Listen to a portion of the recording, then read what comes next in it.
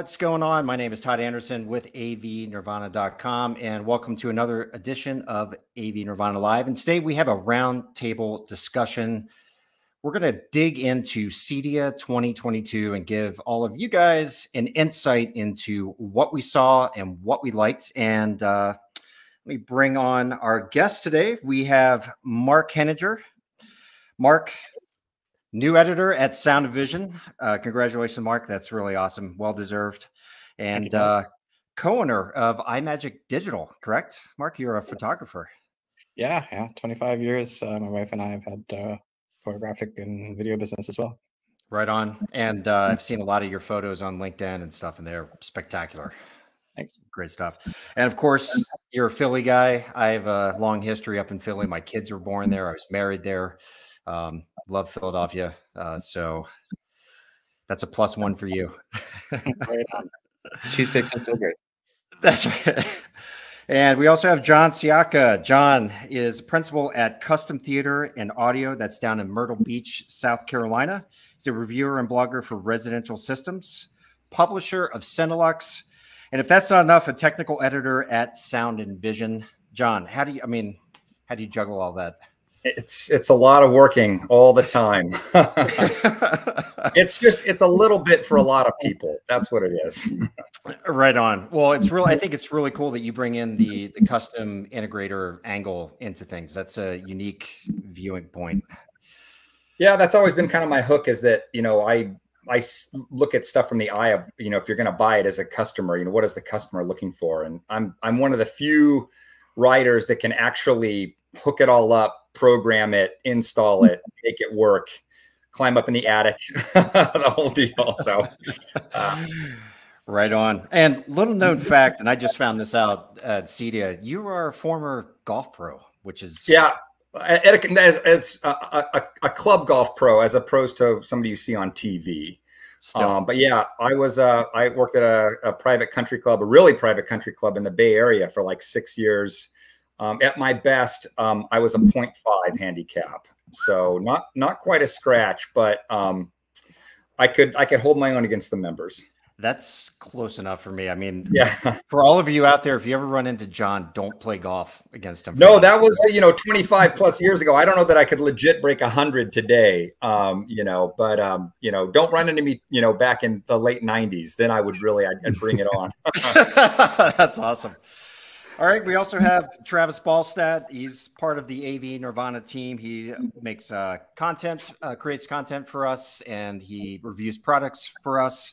And Travis, you're also a creative storyteller, I guess, is how you kind of position yourself. That's what it's morphed into. I was a, a journalism major with a focus on the the media production side of thing, and as the industry has changed, I went from you know being working out of newsrooms and you know corporate video world, the live sports world, all that world, uh, to kind of the one man band doing it all yourself. Um, you know, those tend to be the better roles these days if you have all those skills, and I just happen to have them. And right, know, I'm I'm one who came into this as just someone who bought the stuff and read the magazines that these guys were were writing for um, over the years, and just reached out to you several years back and said, "You need some help creating stuff," you know. And I just started doing it in my spare time and been doing more and more, and really, yeah, uh, really enjoying it.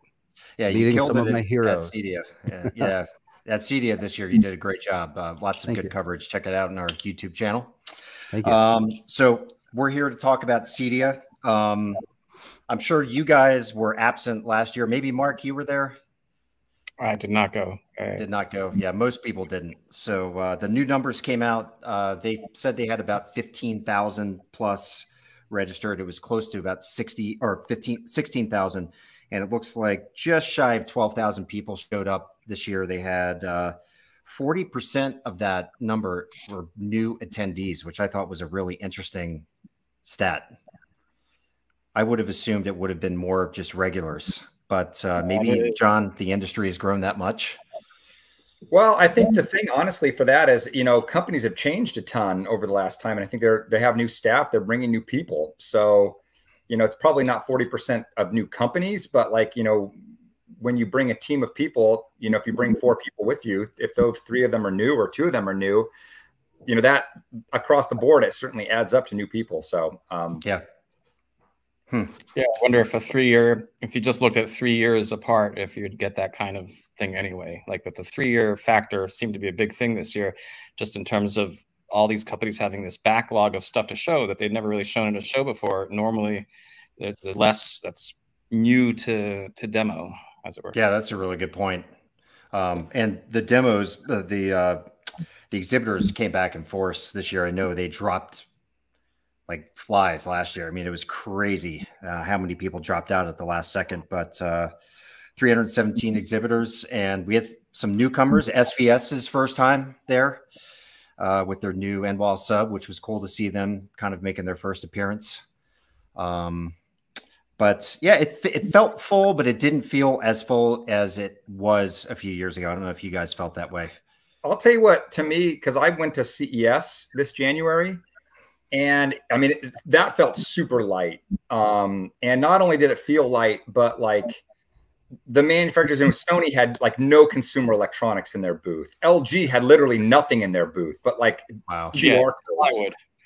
yeah, plywood. But it it was nice that it wasn't this just crush of people, right? Like you could go into a booth and actually talk to people, and I think that was like really to me, it was it was amplified like that at CEDIA because not only was all the stuff there, but the booths were really staffed up. So mm-hmm. I'm okay. I mean, honestly, you know, I'm okay with there not being a thousand other people in that booth with me. You know, you get a chance yeah. to actually spend some time and where they don't feel like they've got to move on. You don't feel like you have to move on. So, I mean, it it was nice. It didn't it didn't feel small the way that CES felt small, but it mm-hmm. also didn't feel overwhelming. But to me, it was like that perfect sweet spot of there was a lot of people there. But even beyond, you know, 12,000, 5,000, 50,000 people, the thing is, everybody that you talk to genuinely seemed happy and excited to be there. And you know, in the past, this is I'd have to do the math, but I think this is like my 25th CEDIA. Like I've gone to every single one since 98, except for last year and then in 99. But a lot of times you get like this kind of bitterness, like, ah, oh, man, another show. Here we go again. But I, there was yeah. none of everyone was like just really happy to be there. And I like the vibe was just really cool. And that's what I think everybody yeah. fed on. I wouldn't yeah. disagree with that. Well, good.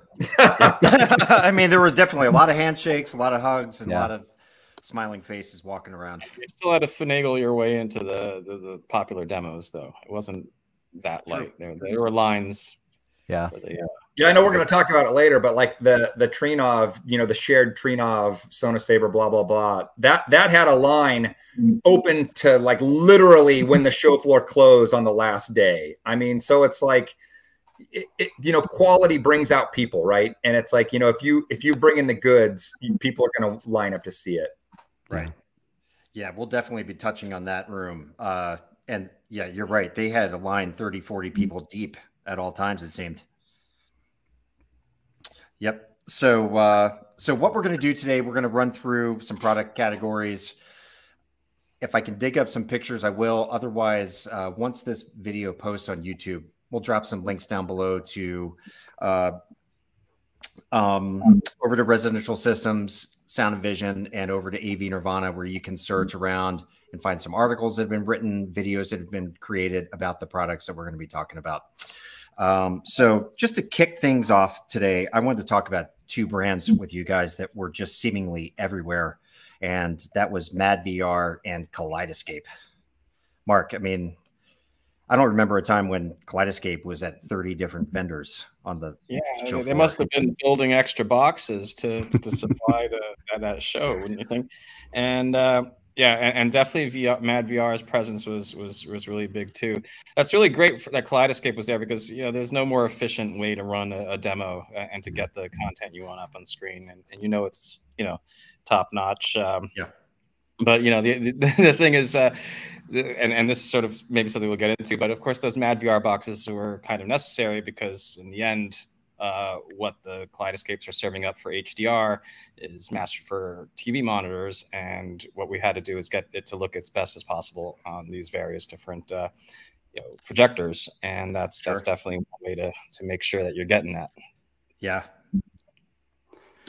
And that that that 30 number on Kaleidescape is is is a very very uh, low estimate. I think I think that was their official partners at the show, but there were more than 30 Kaleidescape systems in that building. It was I mean, mm-hmm. like like Mark said, there's no better way to run it. Um, I, I know of at least two folks that I talked to on camera that I haven't edited yet that they weren't official partners, but they were absolutely running it off of a Kaleidescape. So, well, you know what they did a couple of years ago that was so smart is that they came up with a little intro loop that before it starts, it says something like, you know, demo provided by Kaleidescape or yep. some some little tagline.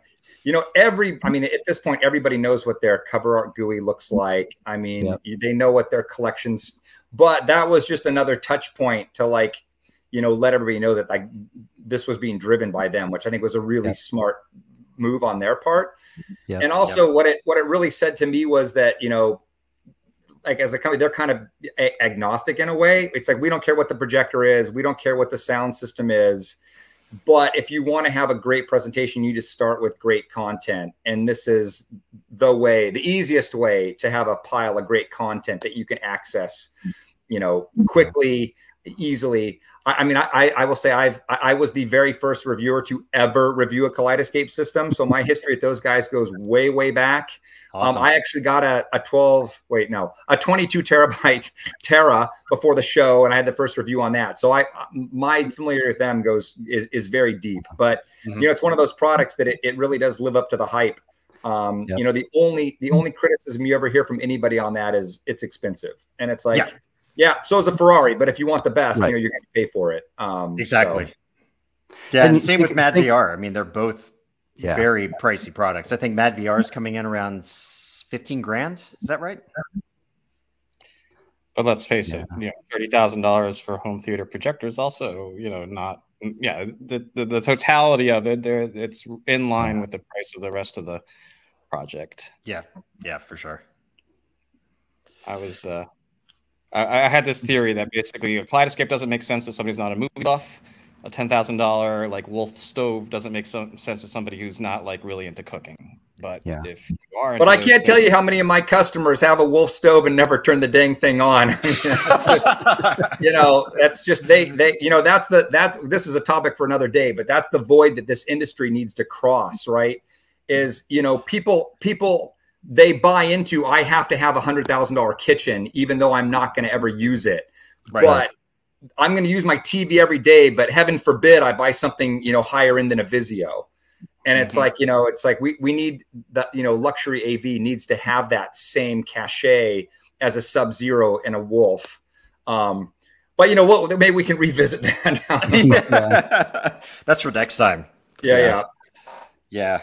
So yeah, and John, you you mentioned about how they had that powered by Kaleidescape um, logo come down. I I thought that was pretty cool. I would love to see them reintroduce that as an option for home users to have their own theater name appear. Well, you know, they used to have that when when they had the Premiere system. You could buy a custom introduction, and it would be like remember in the back in the day like before a movie started it'd be like the camera would roll up the red carpet and through the doors and then it yeah. would end up with like the smith family theater or something so they, they used to do that back when you could load content on via disk um, but i think it was one of those things that had so little i mean you know that i i don't know in the in the strato age but it would be really simple for them to put something like that for, on their movie store that you could build it into a script i mean mm-hmm. yeah and you know, I, I would love to see you know some of the some of the the do it yourself option. You know, the the the fake Kaleidescape systems out there have so you can set it up to automatically play you know X number of movie trailers of stuff that's in my library that I haven't watched, and you can. I'd love to see you know oh, just for, for movie nights have some of those type of things where it downloads a couple of fresh trailers and maybe it has one of the you know you know the the Dolby animations that that can play before like you know this is just kind of add to that whole you know theater experience the reason why we buy the big screen and and all the speakers i'd, I'd love to see some some fun little you know options like that to customize your not just I mean they they already have the home integration stuff with your your lighting and your your blinds and and everything else. I'd love to see some more just to add more to that theater experience. Just some of those little, you know, little nice little touches that not every system has. That's interesting comments. And Brett uh, is in chat, and he's saying that it can be added to uh, sideload content. So he it just needs to be requested. And said he said uh, I can help get that done. So Brett, you know the other thing though, for, for years they've lived they've lived and died on we go right to the movie and skip past all the trailers. Right. so, you know, it's almost like you know I, I, I get it and it would be it would be super cool and you know I, I'm sure they could technically do it if you could just have like like a checkbox enable you know play X number of trailers before the movie starts. And even if you randomly pick it or you know I'm watching this movie, you've already got the metadata on John Wick. Pick me four trailers that are like John Wick or you know whatever. I mean, but again, they're you know they, they will tell you there's only so many engineering hours in the day. Yeah. And they're sure. busy doing yeah. other things. So it is yeah. I, I had forgotten about the the the selling it on skipping trailers and, and things like that. yeah. Funny point. It's not a technical. Most are nerds for sure. Yeah, absolutely. Yeah, and Brett says it's better to have your own trailers than FBI warnings, which is true because yeah. those things you can't get rid of, right? Yeah. Right. What I loved, remember back in the day, you're you're watching a Blu-ray and there's an ad for Blu-ray. It's like, look, man, I'm already in. It's like, preach, preach to the choir. Preach yeah, I'm good. I'm. it's classic. It's so painful to revisit an old disc and have that playing too. Yeah. So uh, yeah, so listen. Speaking of the the large screens, I mean the large screen format is just getting more and more front and center at all of these events. And uh, Mark, I know you wanted to hit on a lot of these, but let's kick things off with Samsung's 110 inch micro LED screen. Essentially, it's not even a it's not even something that they have to put together. Correct? It comes as one giant sheet sold as a TV. So sure, uh, except using uh, yeah the, the DirectView LED tiles uh, in 4K. And so what this really means is they've gotten the individual LEDs down to a size where the exact 4K count fits within a 110 inch diagonal. Whereas when they were selling the wall, the modular part, I think they had gotten it down to maybe 135 inches. So the smaller they make the LED, the smaller you can make the 4K. So that's literally like the smallest uh, micro LED, but it makes it practical because you can 110 inches, you can still get in uh, through doors and in an elevator. Bigger than that, what they're doing is they're packaging them in a box and you got to put it together. Now, what I liked about it is, first of all, it's a complete product, hangs on the wall. It's got all the Samsung processing, uh, it's got sound, all that. Really just behaves like a TV. And also, uh, the, the seams between the, the tiles, which is really the weak point this technology. They're they're very hard to see because, I, and I would imagine that's part of like it being manufactured. I mean, maybe it's just the demo model, but you know, uh, but but when you're putting together like that, you could probably have a very tight tolerance. So so it was very effective because once I stepped back to a normal viewing distance, I wasn't like occasionally catching like the glimpses of the individual tiles, which to me was always taking me out of the the otherwise excellent experience that these walls can provide. So yeah, I love that. Uh, and, and what I really love about DirectView LED is it's it's got perfect viewing angles. Uh, it achieves all the nits you need for HDR. It's got perfect blacks, and it also doesn't have any screen reflection like like you get on regular flat panel TVs. So there's no reflectivity. So even in a room with lights, there's, there's no like lights in the background like you know reflecting off of it and and distracting you. It's it's the pure image, whether it's it's dark or, or a bright room. So that's that's really an incredible you know piece of tech 150 grand right now. So, you know, unobtainium for most people. But, uh, you know, I, I, love to see something that's really like prototype and, and, and indicative of uh, where, you know, where the future tech might might take us. I agree I with that 100%. Say, to, to me, that was like, again, kind of like Mark's closing comments on it. I think it's, I, I don't know, this is mm-hmm. going to be a real product versus just like a statement piece. I mean, at 150 grand, mm-hmm. you know, you can buy a 100 inch Sony DirectView LED for like 13,999, you know, 14,000, whatever it is, or a 97 inch OLED for 30 for like a tiny bit bigger size. It, the price like is a tenfold increase. Um, I mm-hmm. don't know. I mean, I deal with a lot of wealthy people, and it's like even still, they want to feel like they're not values the wrong word, but it's like they don't want to like I, I think the guy that's going to step up 10 inches for 10 times the price is going to be a really small number in you know indeed it's almost like at this at that price i need it to be 150 inches or you know this has got to drop in price though in the coming years. I mean, it's going to get down. That an 85 right now, you can get a good 85 for about two grand, right? 2,500 bucks, and then you're jumping up to 25,000 for a 97 inch, uh, you know, OLED. So in reality, that that 10 times increase to go from the largest like mass produced to the you know to that rarefied, and it's 10 times more to go straight to the cutting edge. I, I agree. No way that's selling, yeah. you know, as a six figure item but yeah, that's that's how things come to us. I mean, remember what plasmas were when they first came out, you know, and that's yeah, yeah, yeah but sure. even still, yeah, they want 150 grand. no, but they weren't yeah. big either. They were like, yeah, yeah. And they, but again, uh, you know, like the, it, it, has to start somewhere, right? Mm-hmm. And it's like you know, and and it always it always starts crazy high, and then they figure it out, and they you know they figure out a way to do it cheaper and you mm-hmm. know chip technology gets better. I mean it's got to start somewhere. So i mean it, it thank goodness that that the samsungs the sonys the lgs are willing to you know take that investment hit right? You know in, into basically it's just an r&d you know right off toward future yep. production probably. Right yeah I and, I, and, they're talking all, about all the little bits Sorry, go ahead, Todd. No, go, no, go ahead, Travis. I was just all the little bits and pieces of that technology that they're they're figuring out and they're fixing these problems are going to trickle into the more affordable sets. Whether it's the entire set of, you know, they're going to have that in a smaller size, smaller price tag, or even just little, you know, the things they're learning creating these are solving the problems on the the sets in the big box stores and things like that. And you know, at that price tag, who's going to buy something like that? I'm guessing few, very few homes. That's going to be in your your lobbies of your big Mega corporations. Yacht. Mega yacht, yeah. I, I, mine, mine's in the shop. Um, but yeah, I, you know, there'll be a be mostly corporate sales, I would bet for for something like that to you know be the big centerpiece in a lobby with today's today's visitors are, and it's just on the same slide for six hours a day. Well, and Mark, they're having trouble mm-hmm. Getting the micro LED in down into smaller screen sizes, correct? I mean, that's yeah, part well, of the, the issue. The reason it costs so much right now is because every single one of those LEDs, and you need a red, green, and a blue one for each pixel, and you need 8 million pixels for 4K, and a robot has to place each one of those. You, you can't, there's no mass production methodology that's efficient for this. It, it's a robot has right. to sit there and, and place each one, and, and you have to throw away like the panels that, that get screwed up. Uh, so yeah, you, you could they'd have to come up with a completely different uh, method of, of assembly to, to, to mass produce them. I mean, that it's it's a, that that is a barrier. Right. Yeah.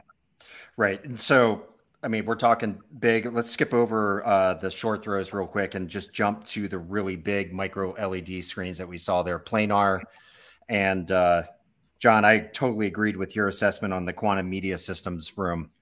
Um, those large scale micro LED and folks, we're talking like 198 inches and larger and and the quantum media systems room. I think that was 16 or 17 feet wide cinemascope.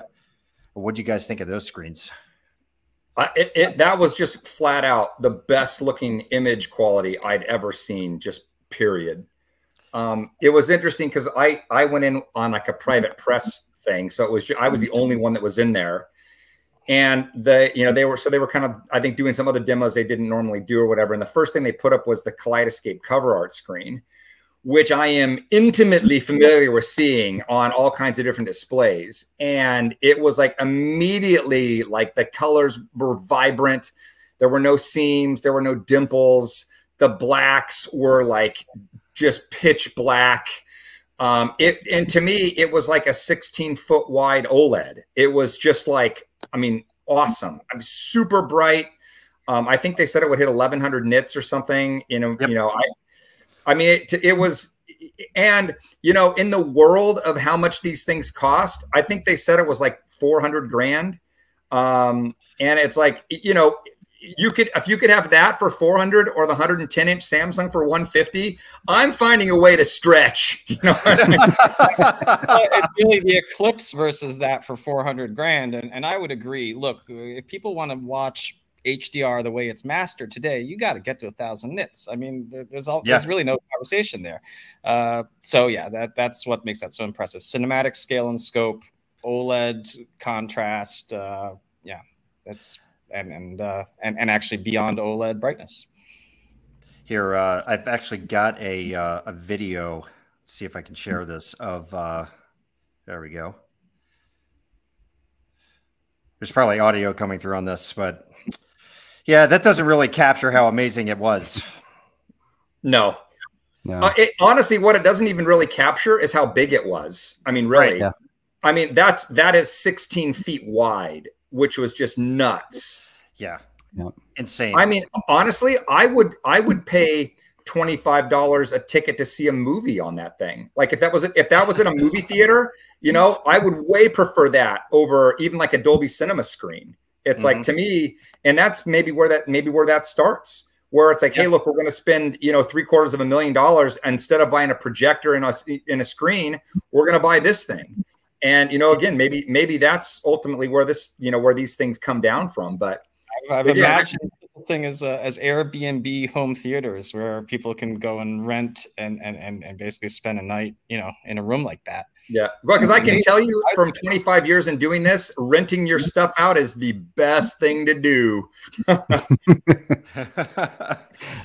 and I, uh, one of the things I thought was really cool about that room is the audio system. Wisdom Audio had built custom built a system just to go with that screen, and it sounded really good. I mean, one of the yeah. complaints about these large large plant panel screens is you can't have the audio coming through the screen obviously although Meyer Sound is saying they're developing something where they're essentially bouncing the sound off of a screen um, which I can't imagine that's going to sound as good as having the drivers actually yeah. facing out into the room like Wisdom had built in there. Did you guys think that also sounded good or I'm I'm the I'm the I'm the case the case in point for gotta have those the sound coming from behind the screen. And i looked at this thinking that's gorgeous. But and then i saw it was wisdom audio. I said oh it's going to sound good too then. Yeah. and and you know wis- wisdom's you know systems just have always been you know my one of my dream systems is is what they're doing. They're they're just oh it sounds so fantastic. And this was no no different. It just it sounded incredible, and you know, I suppose if I had to get the wisdom set, set up, it's a sacrifice I could make to to have that display in my house as well. It was magnificent. We actually, Travis, maybe you can answer this because we have a uh, another viewer question from Jedi 1982. He says, "Would you be able to comment on the audio comparisons between the Wisdom Audio and Ascendo rooms?" Um, both were great. Yeah, they they were fantastic. Both both were fantastic. Um, different, diff, just different signatures would be all I would say. I would be more than happy to have either in my room. Um, the the Ascendo I consider to be more commercial cinema esque versus Wisdom is just such a smooth. Um, it's just it's like a silkier sound than than yeah. the Ascendo, but maybe a, a little more to each their own. Yeah. You can't go. Couldn't one, go wrong one with giant either. difference. The the rooms were like. I mean, the the yeah. the quantum media room was like a hotel, like meeting room, essentially with like the nothing walls on the side. Yeah. So I mean that it was. That helps. You know, it, it wasn't it wasn't built for like sound quality, right? I mean, and it was way way way bigger than the Ascendo room. Right. Um, so I mean, it's it's not super fair comparisons of you know. True. Yeah. Yeah. So uh, not that those sound rooms are really built for sound quality. Either. I know that's so true. I mean, I always uh, give the nod to the the quantum media systems just because of that. It's not that kind of fake wall. Um, yeah. Yeah. They, and they have the size advantage too. Yep. Um, so so Mark, I'm going to defer to you on this one. We saw Epson with their ultra short throw. Uh, it was the H1951QB, and then Hisense also had a, a laser ultra short throw there. What do you think of those two? Well, uh, the Hisense I, I'm familiar with. I, I, reviewed that for, for Projector Central. Uh, I think I've reviewed their H9G and the PX1 Pro.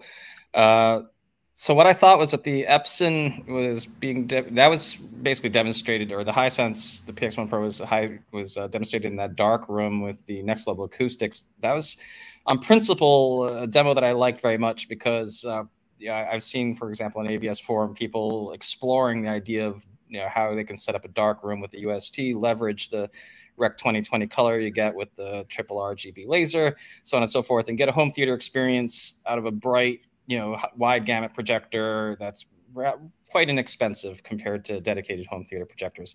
And mm-hmm. it did a good job. It was it's not a real home theater projector. There there are issues. You could pick it apart. But uh, honestly it's a big bright you know picture with lots of color and uh, tied together with a really powerful sound system. I actually enjoyed the the viewing experience uh, yeah. and and and being yeah anyway. So so that was cool. But uh, but what Epson was doing, well, you know, they they've got the brightest. They already had the brightest projector. What they've done is they've re-engineered what was sort of like a commercial projector that they jerry rigged to make work with the with the, the LS 500 and with the LS 800. They've made a, a, really slick new chassis with an extremely short, the shortest throw lens yet in an ultra short throw. It really sits close to the wall so that you can put it like a regular IKEA credenza, which is sort of what they were showing there. Yep. 20 inches even. It's, it's not sticking way out in the room seems sharp edge to edge. Those 4,000 lumens, I mean, you need as much brightness as you could possibly have to really fulfill what the UST's promises, which is that it can kind of like survive some ambient light and be like a big TV. And, and, and it was doing that.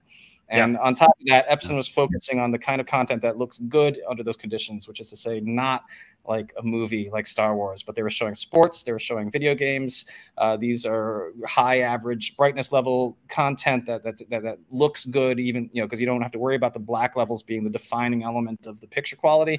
Mm-hmm. Uh, it's also got really low latency compared to the DLP projectors. It's got no uh, rainbow effect. So all these things I think are amazing, and so that's quite likely the best UST projector out there now because it's the brightest, lowest latency. That's the, the Epson.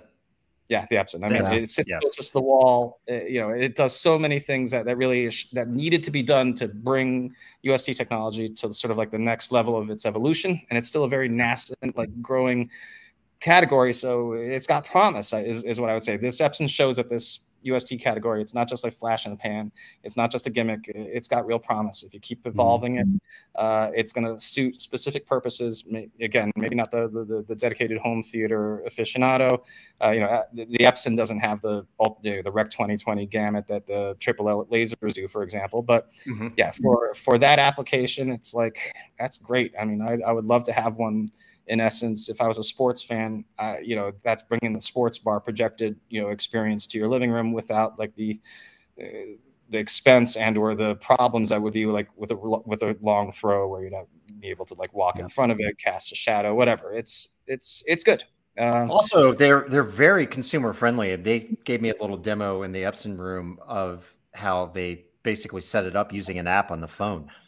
Sure. Well, that's good and bad. I mean, that's using like digital, like you know, skewing and and and and whatever to to make it fit. So you're losing some brightness, you're losing resolution, you're reprocessing right. image. I, I I always want to be like, please, please, please, just manually adjust it and then that. but still, though, there are, there's a lot of people out there that don't want to mess around, you know, with that. They yeah. just want to press a well, button. They, they, they intended to do correctly. The, the, the, the, demo, the person running the demo was like, yeah, this is like in case somebody like bumps into it a minute before the game is on, and you really need to quickly get to fix it, and you can't just sit there right. and fiddle.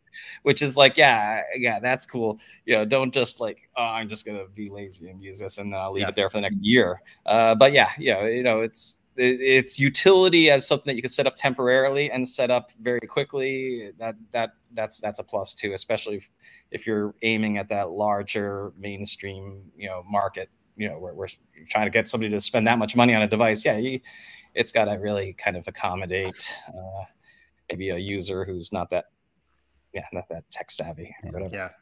Yeah kind of on the other side of the equation we shift over to kind of the real projectors. We had jvc Sony, obviously, those two were up in force. JVC came with its new limited edition 25 LTD $30,000 projector, which is now the most expensive one in its lineup.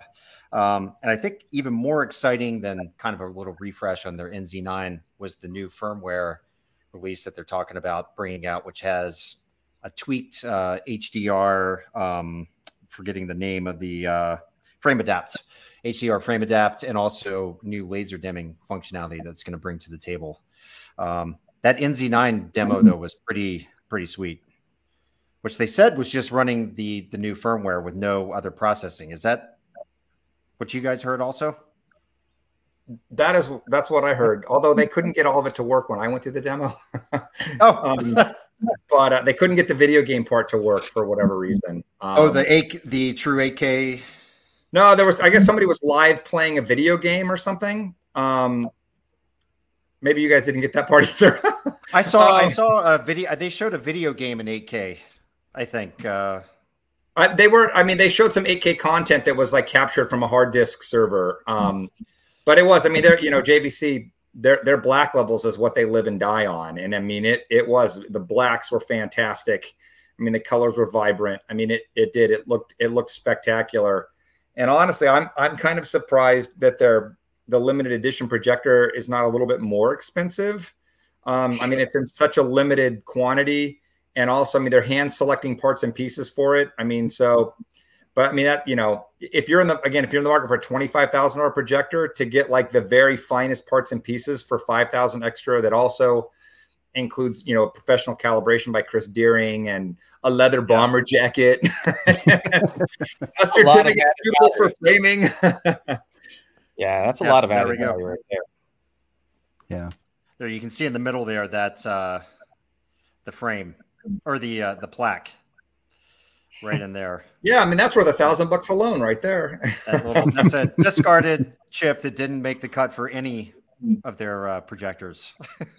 Yeah, yeah, good stuff. Um, and, I agree. Uh, that was also the back levels other than uh, the Eclipse. So you got to pay ten times, more than ten times more above that to get a better projector uh, in terms of contrast, as far as yeah. I can tell. Yeah, John, you had mentioned in your show show wrap about the uh, the Eclipse. I mean, that's just an insane projector. I'm yeah, sure I mean, again, I like how the Quantum was the best video I ever saw. That the Christie was the best projector I think I've ever seen, and I think part of the difference between the Christie and the JVC was again the screen size. Um, you know, it was it was throwing that image out on a much bigger screen size. Um, mm-hmm. With again, it, it, to me it felt like I I'm a huge fan of Dolby Cinema. Um, and you know, if you've ever been to a Dolby yeah. Cinema, before it starts off, they show you this was black and now this is black.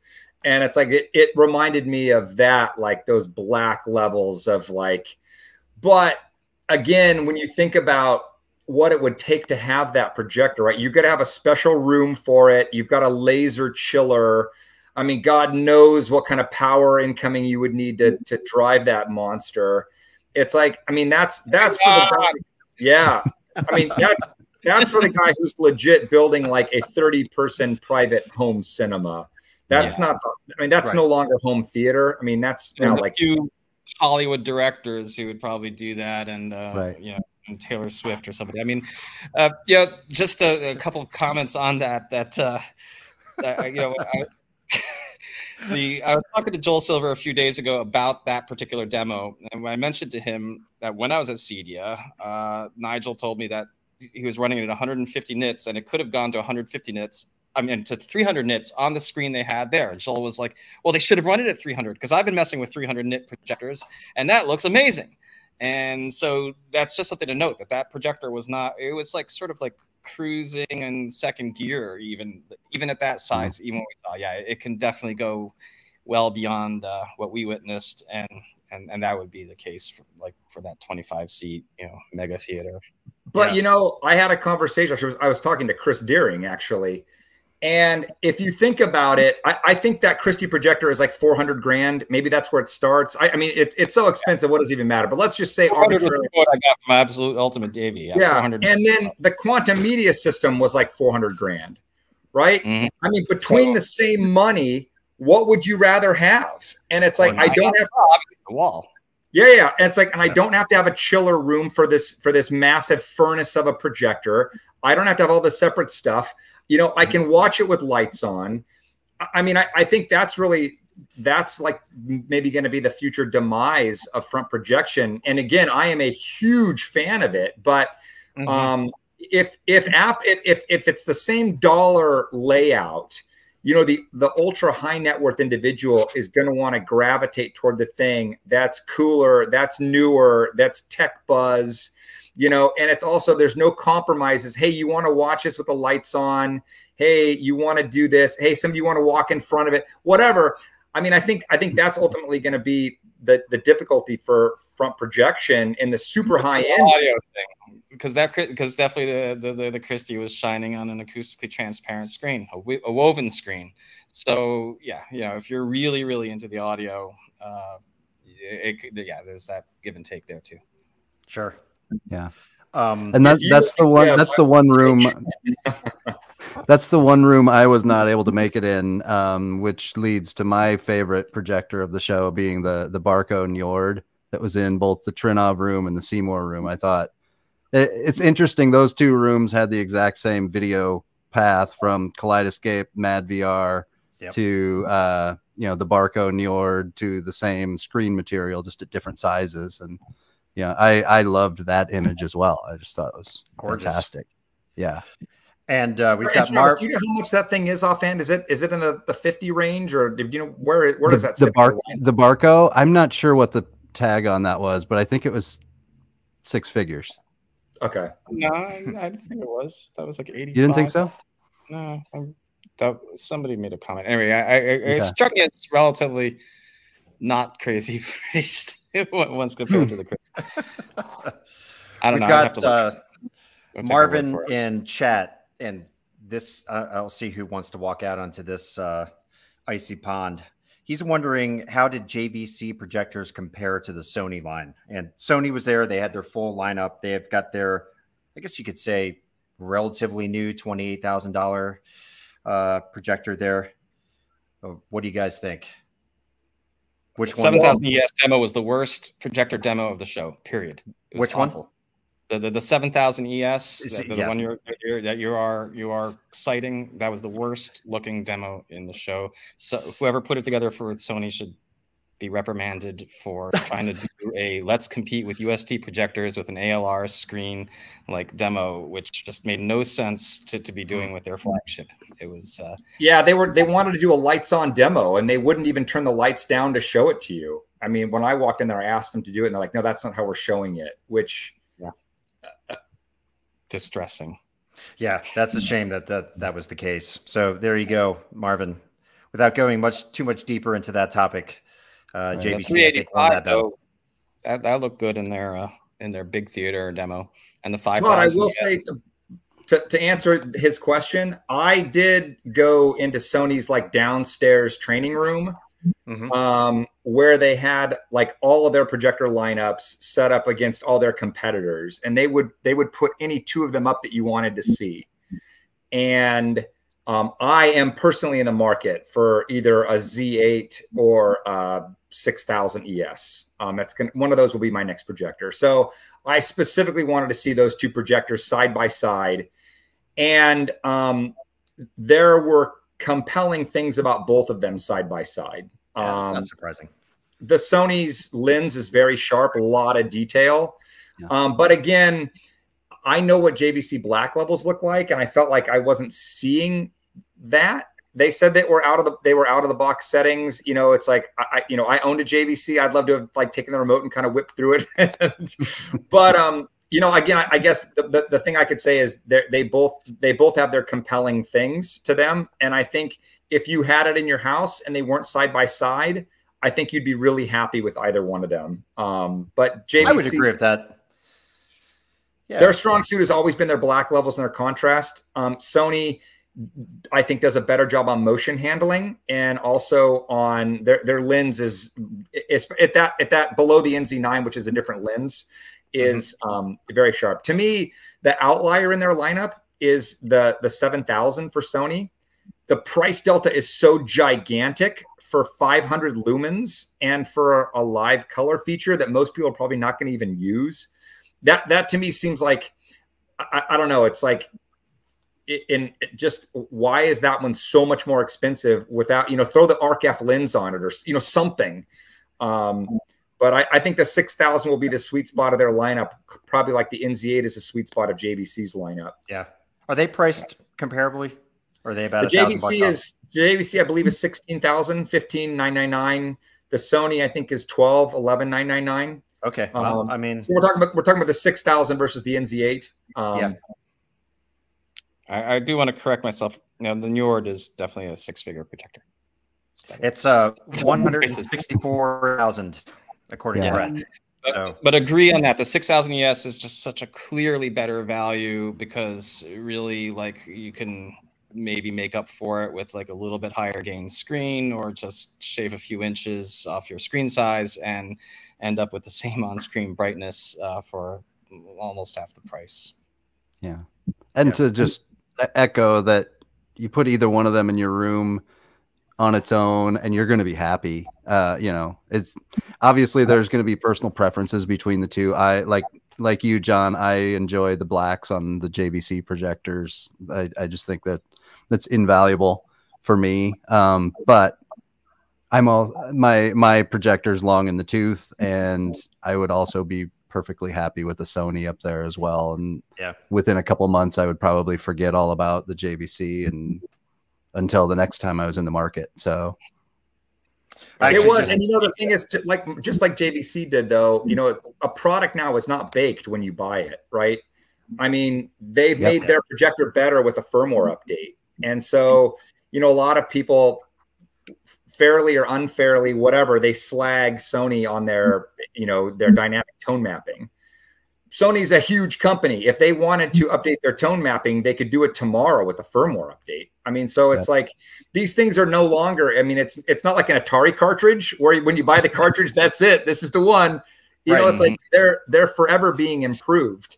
And yep. you know, that's I think I think what these companies do to add value, right? It's like, hey, look, JVC, we're going to roll out. This is this is an improvement we found that we could make in software. We're going to give it to everybody for free to me, that kind of stuff creates, and I can tell you as somebody who sells this stuff, mm-hmm. that resonates with customers a ton when you can go back to them and say, hey, look, there's been an update. I'm going to make your system better. It's not going to cost you anything. Yep. They love that.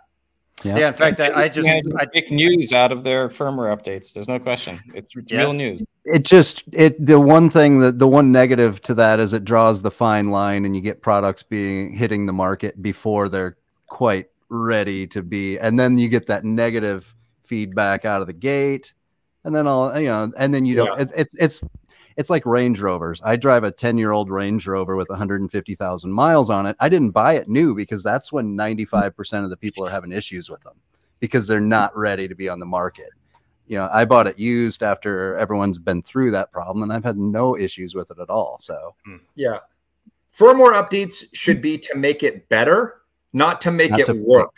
yeah, yeah, exactly. so true. Well, it got me to buy one. I just purchased an NZ8. Um, sitting upstairs waiting to get installed. So I'll be right there. I'm hoping. I'm hoping that. Uh, yeah, that's exciting. Yeah, congratulations, man. Thanks. Thanks. Um, yeah, and then of course Epson was there. They're still doing 4K E shift. This time they're they're using a, a four way uh, method did you guys pop in there and see see the Epson demo? The was that in the was that in the Omni hallway? That was in the hallway. Yep, next next to the short throw room. I every time I walked by, the door was shut, um, or like private meetings in progress or whatever. So you didn't pop in. It's essentially a five thousand dollar projector. I mean, talk about bang for your buck. I think there's a lot to be said for what they're doing. It looks really good. Um, Mark, did you jump in there? I did not have time to do that. I just did the UST with Epson. Yeah. So yeah, I mean, I think Epson's still doing what they do best is offering that really kind of entry level price point with decent performance. great, for, great for gamers. It's a, it's a little less expensive than the Sony 5000 ES, and, and the real differentiator is Epson's got a really good lens for the money. That's also a power lens with with lens memory. So somebody who wants to do the scope scene, you know, screen and all that, they can do it with the with the Epson. Whereas the Sony, you know, you get a little better. The 5000 ES even you, you get a little bit better contrast than than Epson's offering, a little better black levels. So, you know, if if you're just gonna do a 16 by 9 screen and you want and it's also native 4K. So you know, mm-hmm. if you're if you want to push the image quality on a fixed screen, just set it up once. Maybe the Sony, but yeah, if you want that uh, that scope and that adaptability, then Epson. I think they're very competitive with each other, but but with really clear differentiating capabilities. Yeah, and talking about setup, the one thing I did not like at all about the Epson room was uh, they had motion smoothing engaged, and it just it didn't look cinematic. It was right. it was just too much. You know, it just had that soap opera look, kind of floaty. Uh, I think they would have been a lot better off with that off, but uh, maybe that's just me. Um, Okay, so moving on because we've got about 10 minutes left on our hour here. Let's jump into screens and Travis. Let's kick this off with Seymour Screen Excellence because you spent a lot of time over there.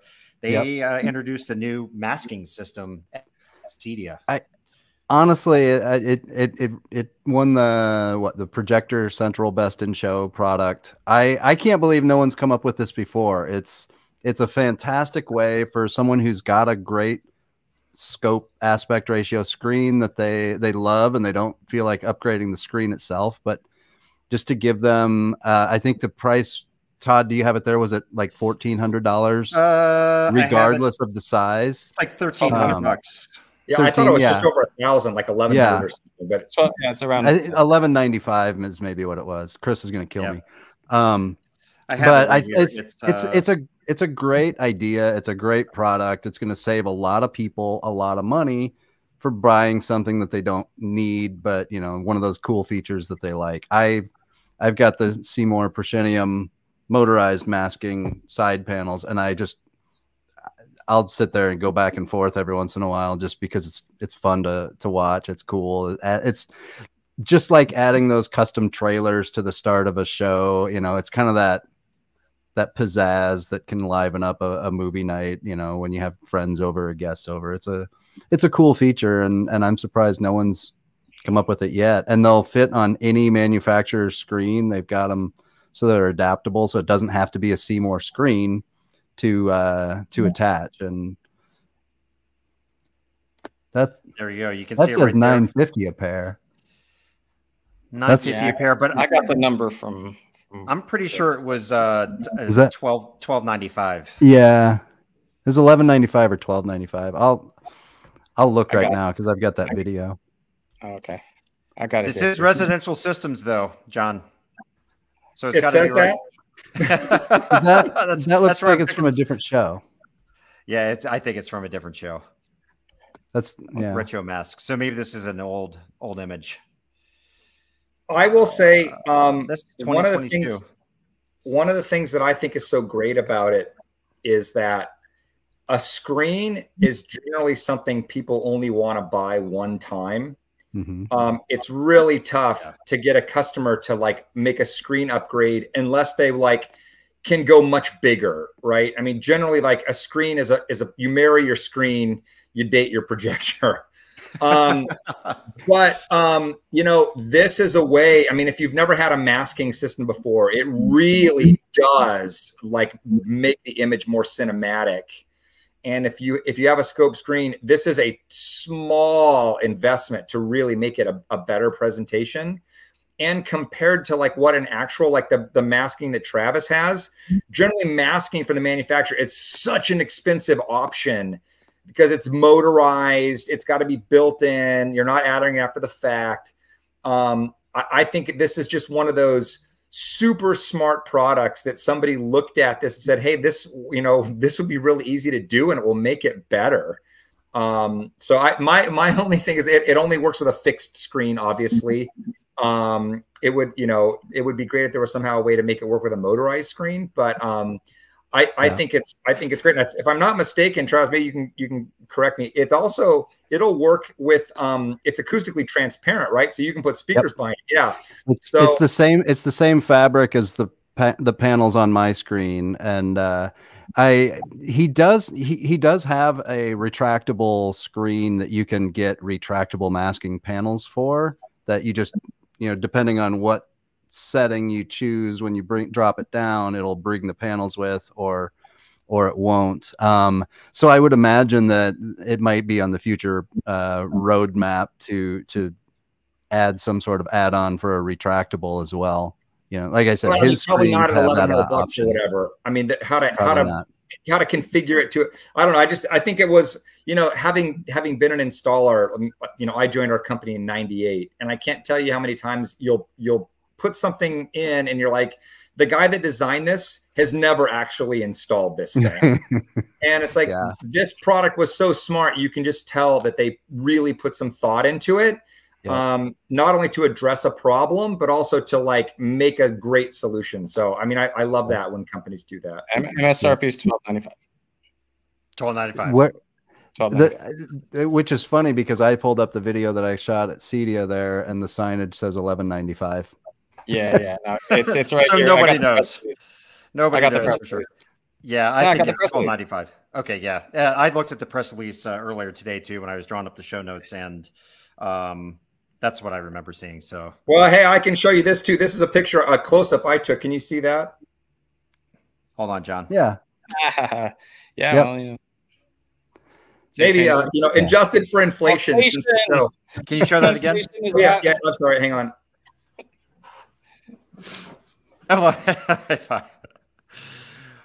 yeah. so it's somewhere between nine nine ninety nine and twelve ninety five. That's I think it. It's twelve ninety five. Yeah. Um, and then the other screen I wanted to touch on was this uh, EVP screen Dark Star Max UST, which was shown in the uh, Epson room over in the Omni uh, walkway. And uh, Mark, I know you saw it. It was uh, being used with a UST in there. Yeah. Um, very cool screen. Basically, it's a ambient light uh, re- uh, rejecting screen that folds down or goes down into a box that you can build into like a table, for instance. So it can completely disappear. You can have a 100 to 110 inch screen, um, or up to 120 inches actually, uh, that disappears. Um, and very cool stuff.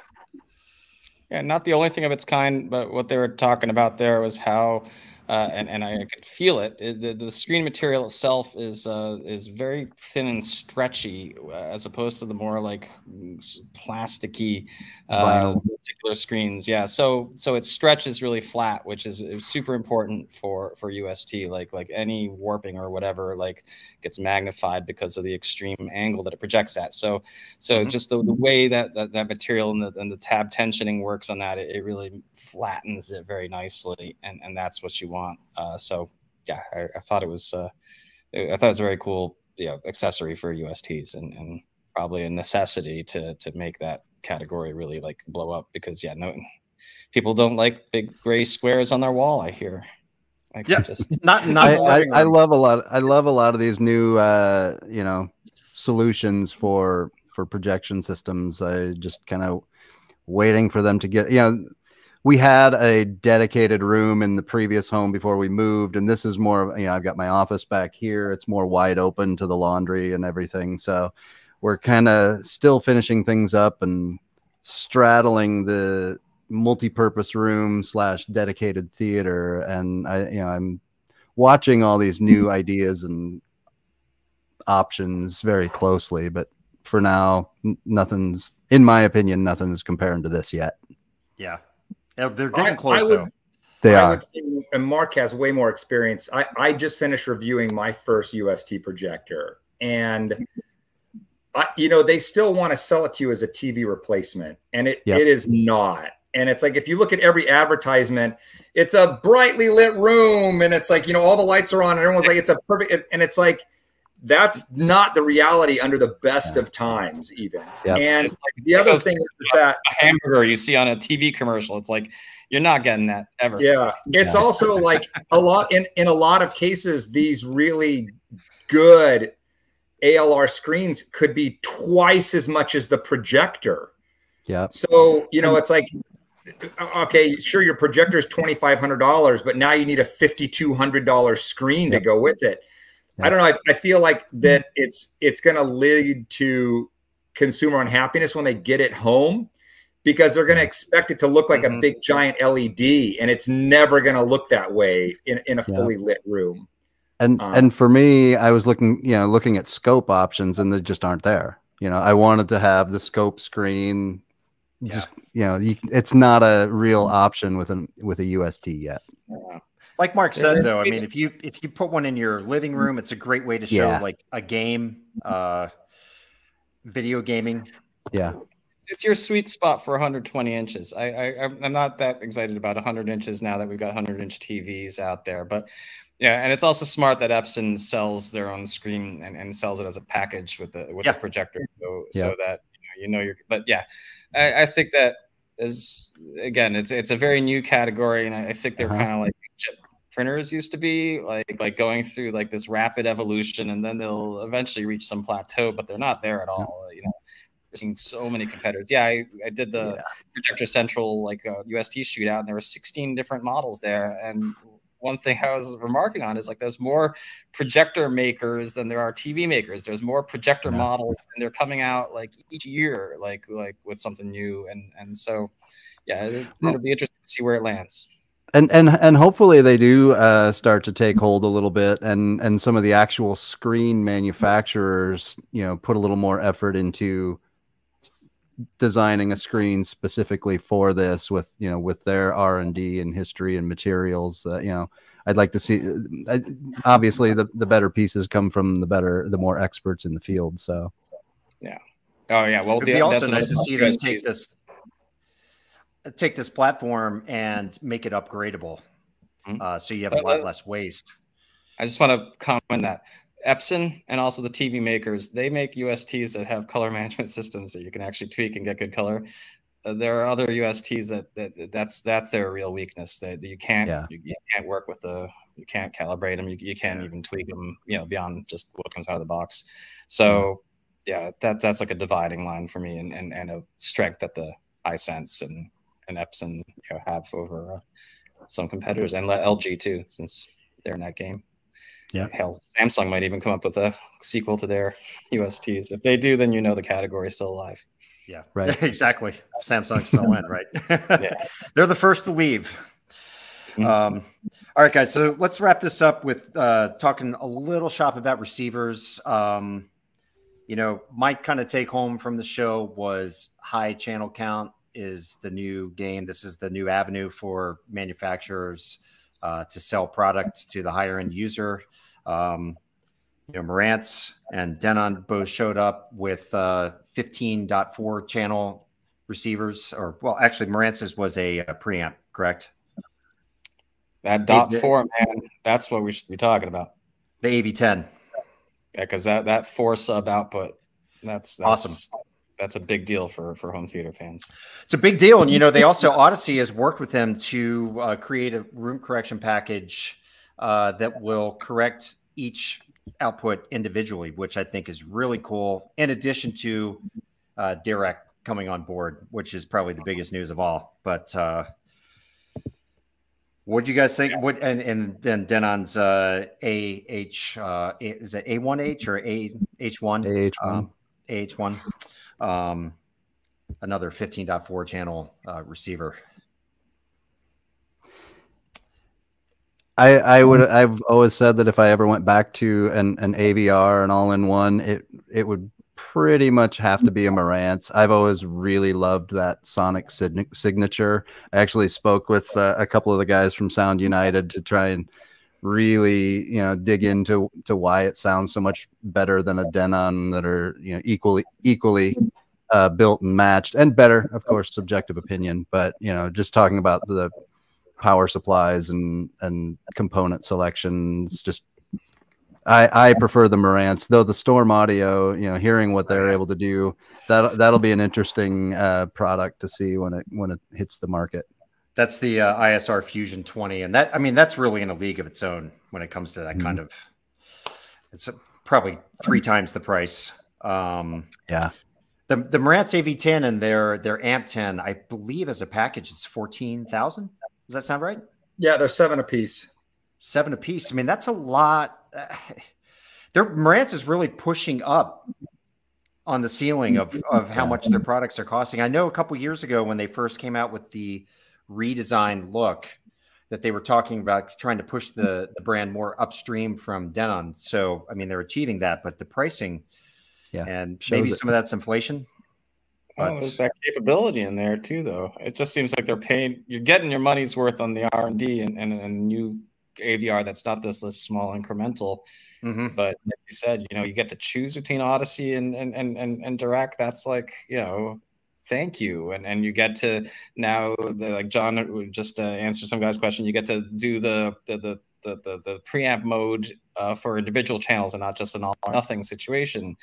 I I was like blown away really by by the fact that Marantz had such a complete refresh and and and yeah. really brought so much useful you know capability to the table.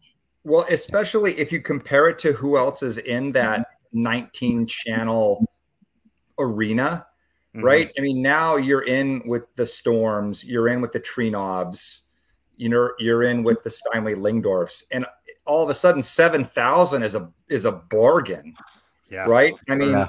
like, you know, a, a, an entry level Trinnov altitude 16, I think it's 17,000. I mean, it, it, in that ballpark.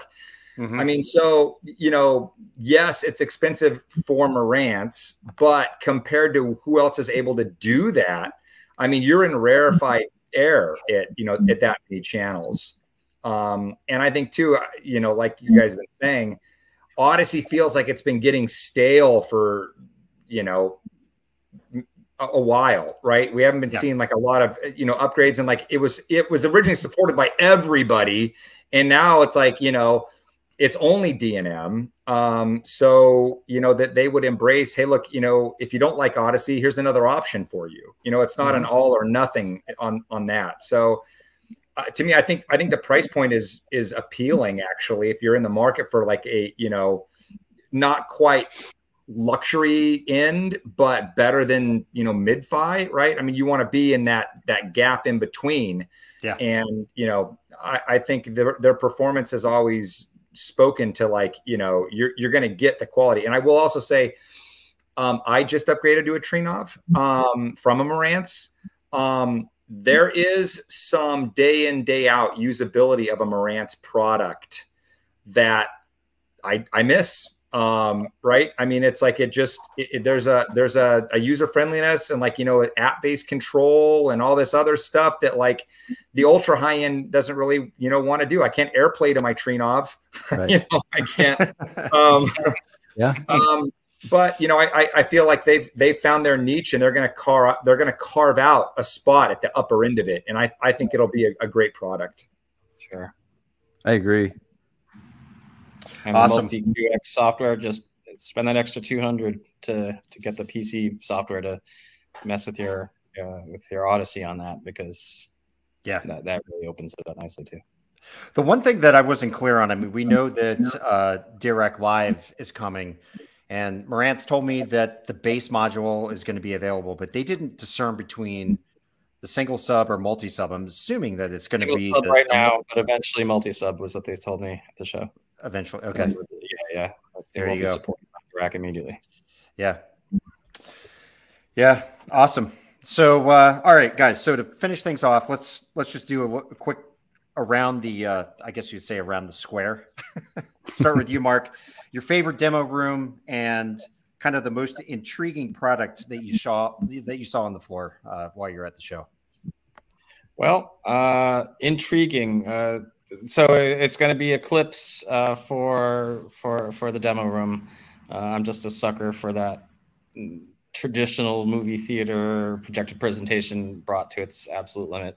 And uh, yeah, I'm, I'm going with the the Samsung 110 uh, price not irrelevant. I, I just think that seeing uh, micro LED really packaged as a TV and just uh, having that glimpse of of, uh, of a potential future uh, of what displays might look like, uh, yeah, that, that that really sparked my imagination.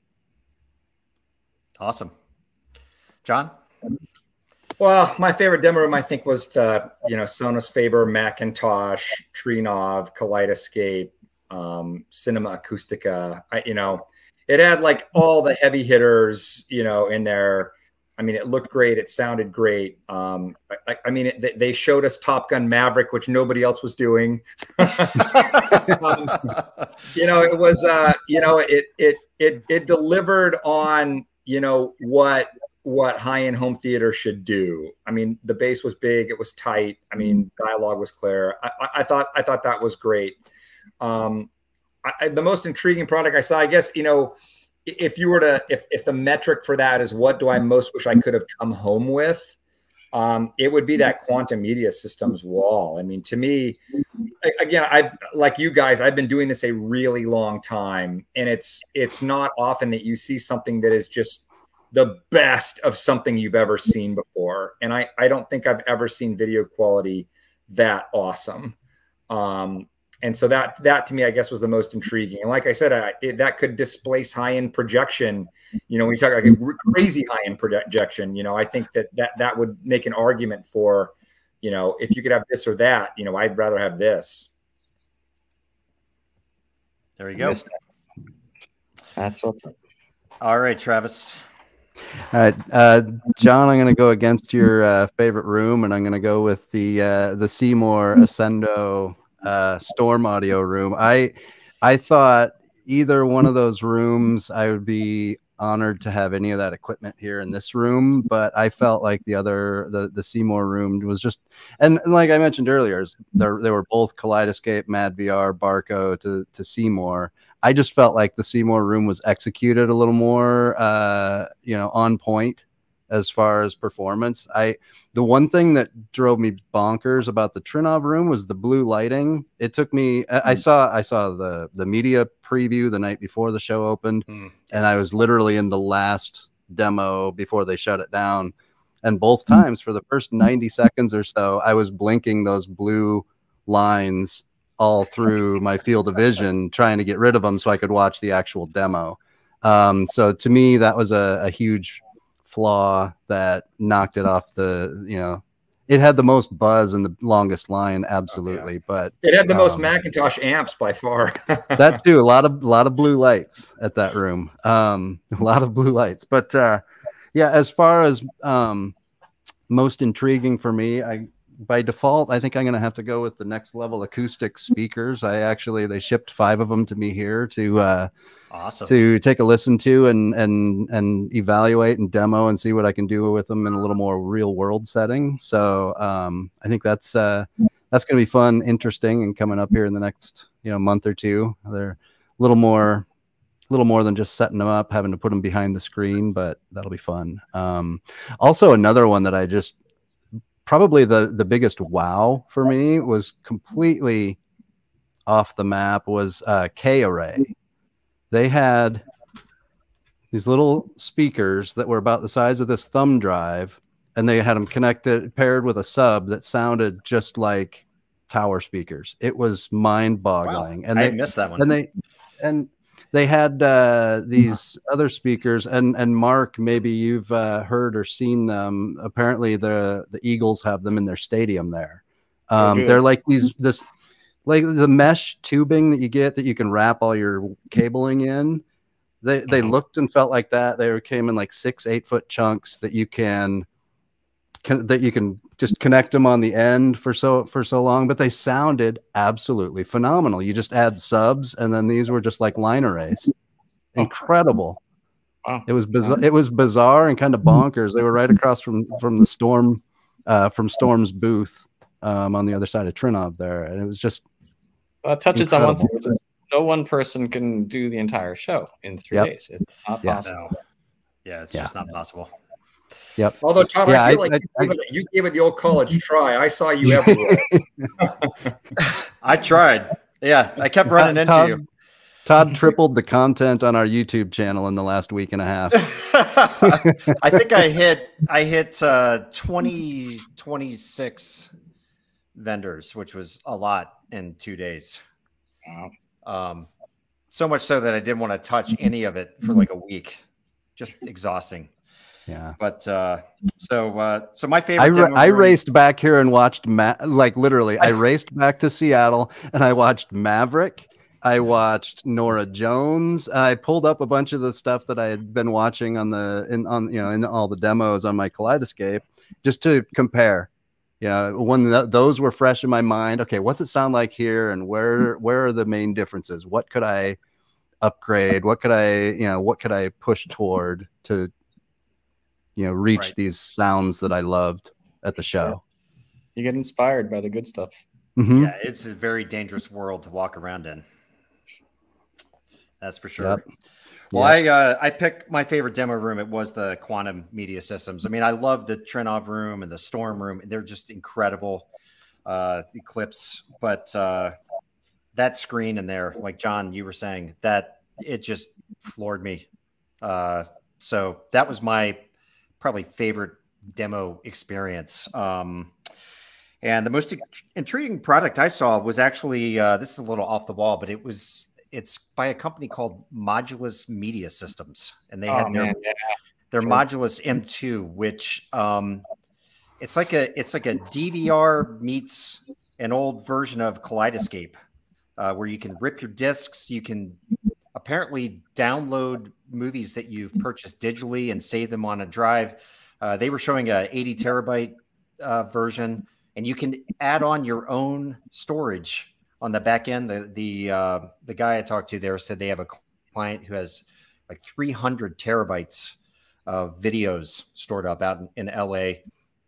Um, so, uh, and the price point's right. It's like nine to eleven thousand dollars. I mean, it's a real sweet spot. My my big question is, are they going to be able to dance around all the the media rights? I mean, you start telling Hollywood studios that you're letting people rip discs onto drives that can be removed and shared.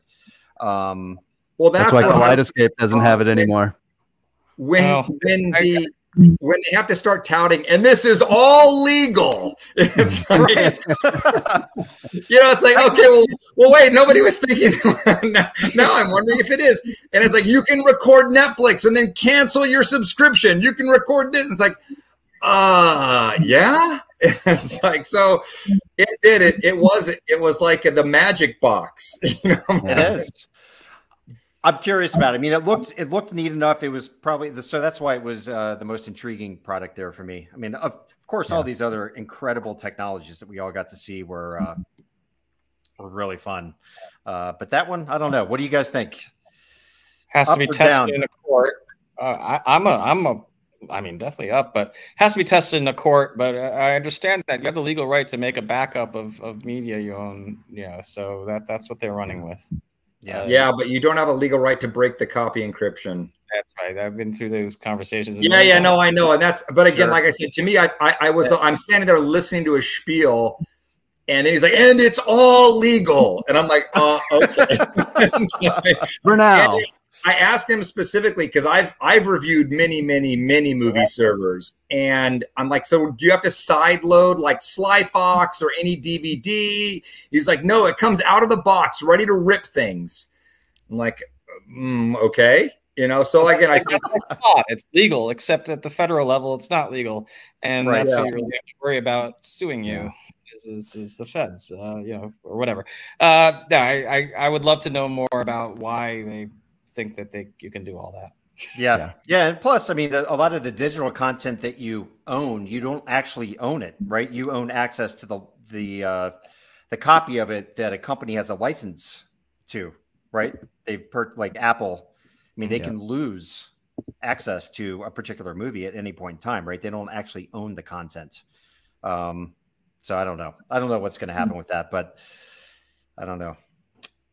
We shall have to wait and see on that one. It was a cool looking product. I mean, as they showed it, it was it was a cool looking product for sure. I, I will say one of the one of the big things that they were touting though was the ability to record things like multiple tuners. And I can tell you in our area, cable card doesn't exist anymore. So it's like, you know, that was a big thing that they were saying it could do off of cable card. And it's like, well, yeah, that technology is kind of dead now. So, you know, it's. You know, so the question is if home theater PC didn't make it, it's because of the exact limitations that we're discussing here. Why aren't there home theater PCs as envisioned? You know, uh, because obviously, you know, my video card can do 8K at whatever 120 hertz. All yeah, it's all there in the PC anyway. Why can't you just, like you said, AnyDVD that UHD Blu-ray if uh, it's all legal. Love mm, to know. Yeah. Awesome. Well, listen, guys, we've pushed up a teeny bit over an hour, so uh, time to stop. But uh, Mark, John, Travis, thank you so much for taking time out of your day to hang out, talk shop. It was a lot of fun. And uh, yeah. hopefully, uh, everybody watching learned a little something about uh, what we experienced at CEDIA 2022. Super psyched to go to the next show. That's yeah. that's the thing. No more, no more jaded. not, not that's right. Yeah. Yep.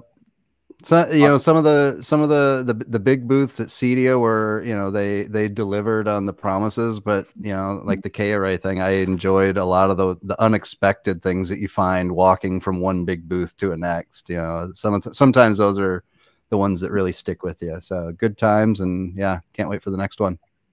Yeah, awesome. Well, look forward to seeing you guys there in 2023 in Denver. I think it's uh September 9 through 11? It's earlier, I remember. Yeah. Yep. Yes. Awesome. Well, thanks, guys. And uh, thanks, everyone, for watching. And uh, we will have another episode of AV Nirvana Live coming up real soon. And uh, with that, we'll say goodbye. Awesome. Take it easy, guys. Bye.